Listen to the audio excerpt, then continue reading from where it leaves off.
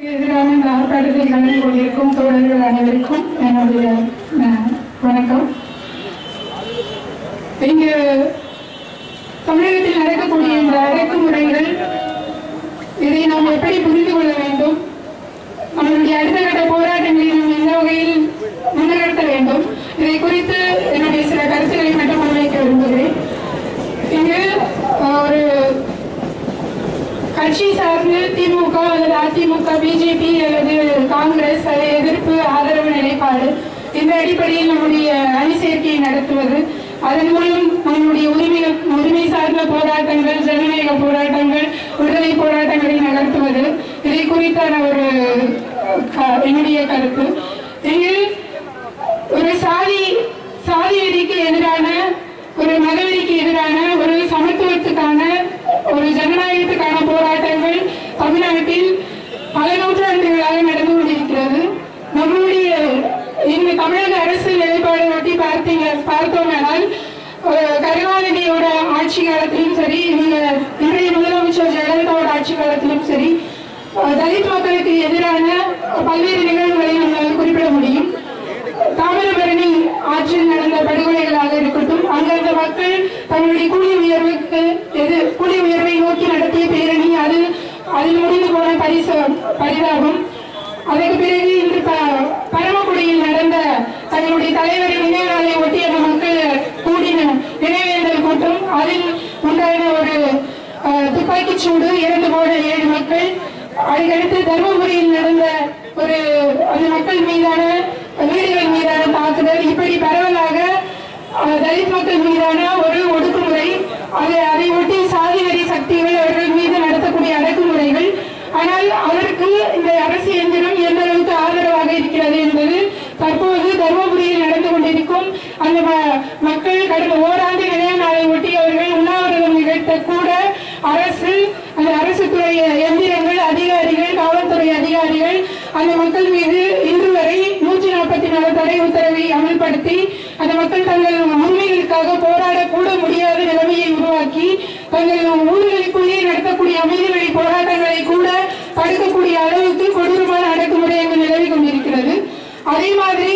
இங்கு மதுவெளியை தூண்டக்கூடிய சக்திகள் எங்கேயோ பாட்னாவில் குண்டு வெடித்தால் கூட கன்னியாகுமரியில் பொது சொத்துக்களுக்கு சேதம் விளைவிப்பதும் இங்கு இந்துத்துவ தலைவர்கள் வெட்டி கொள்ளப்பட்டு பல்வேறு சொந்த காரணங்களுக்காக அவர்கள் வெட்டி கொள்ளப்பட்டாலும் இங்கு பொது சொத்துக்களுக்கு சேதம் விளைவிப்பதும் அவர்கள் மீது எந்த ஒரு கடுமையான நடவடிக்கையும் எடுக்காமல் வேறு எந்த ஒரு இடத்தில் என்ன பிரச்சனை என்றாலும் சிறுபான்மை மக்கள் மீது அவர்களை அவர்கள் மீது ஒரு அடக்குமுறையை செலுத்தி அவர்களை கைது செய்வதும் விசாரணை கைதிகள் என்ற அளவிலேயே பல ஆண்டுகள் அவர்களை சிறையில் வைத்து பின்னர் அவர்கள் என்ன தவறும் செய்யாதவர்கள் என்ற அடிப்படையில் அவர்களை விடுதலை செய்வதுமான அடக்குமுறைகள் சிறுபான்மை மக்கள் மீது இங்கே தொடர்ந்து செலுத்தப்பட்டுக் கொண்டிருக்கிறது. இதே மாதிரிதான் நம்ம இரண்டாயிரத்தி ஒன்பதில் முடிந்த இனப்படுகொலை அது எப்படியெல்லாம் நடந்தது என்று நமக்கு எல்லாருக்குமே தெரியும். இந்திய அரசின் பங்கு அதில் என்ன என்று தெரியும்? போர் நடந்து கொண்டிருக்கும் போதெல்லாம் இன்றைய குடியரசுத் தலைவர் பிரணாப் முகர்ஜி அன்றைய நிதியமைச்சர் அங்கு அங்கு சென்று அந்த போர் நடக்கும் விவரங்களை இங்கு பாராளுமன்றத்தில் பேசி ராஜபக்சே சொன்ன தவறான கணக்குகளை சொல்லி அங்கு மக்கள் அங்கு நடந்த இனப்படுகொலைக்கு துணையாக இருந்தவர் இன்று குடியரசுத் தலைவராக இங்கு வீற்றிருக்கிறார் அதே மாதிரிதான் அன்றைய ஆட்சி கட்டிலில் அமர்ந்திருந்த கருணாநிதி அவர்களும் தமிழக அரசு காவல்துறை மற்ற எல்லா எந்திரங்களும் இவர்களுக்கு அது நடந்த இனப்படுகொலைக்கு எதிரான தமிழ்நாட்டில் நடந்த அத்தனை போராட்டங்களையும் மாணவர் எழுச்சி நடக்க இருந்த மாணவர் எழுச்சி ஒரு காலம் காலவரையற்ற பள்ளி கல்லூரிகளுக்கு விடுமுறை அளித்து அந்த எழுச்சியை ஒடுக்கியதும் அதோட ஒரு தொடர்ச்சியா தான் நம்ம இன்னைக்கு தமிழ்நாடு அரசோட ஜெயலலிதா தலைமையிலான அரசு இது இங்கே நடக்கக்கூடிய இனப்படுகொலை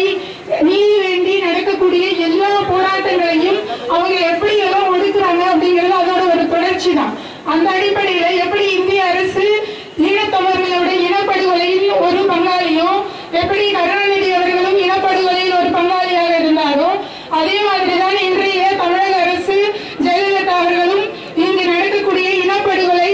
போராட்டங்களை கடுமையான அடக்குமுறை சட்டங்களை ஒடு- கொண்டு ஒடுக்குவதன் மூலம் அவரும் அந்த இனப்படுகொலைக்கு ஒரு பங்காக செயலாற்றிக் கொண்டிருக்கிறார் என்பதை நாம் இங்கே உணர்ந்து கொள்ள வேண்டும். இவர்களிடம் தமிழக அரசிடமோ மத்திய அரசிடமோ நாம் மென்மையான போக்கை கடைபிடித்து தம்முடைய கோரிக்கைகளை வென்றெடுக்க முடியும் என்று நாம் இதை நினைக்கவே முடியாது. எனவே கடுமையான ஒரு எதிர் நிலைப்பாடு இங்கிருக்கிற தமிழக அரசுக்கும் மத்திய அரசுக்கும் எதிரான நிலைப்பாடு எடுக்க வேண்டிய சூழலில் நாம் இருக்கிறோம் என்பதை நாம் உணர்ந்து இந்த அடக்குமுறைக்கு சட்டங்களுக்கு எதிரான இந்த கூட்டமைப்பு எந்த அளவுக்கு நாம் வலிமைப்படுத்துகிறோமோ எந்த அளவு அடைக்குமுறை சட்டங்களுக்கு எதிரான நம்முடைய போராட்டங்களை வலிமையோடு நடத்துகிறோமோ அந்த அளவுக்கு மட்டுமே தமிழகத்தை சமத்துவத்துக்கான ஜனநாயகத்துக்கான தமிழீழ மக்களுக்கு விடுதலைக்கான போராட்டங்களை நாம் முன்னெடுக்க முடியும் என்று கூறிக்கொண்டு என்னுடைய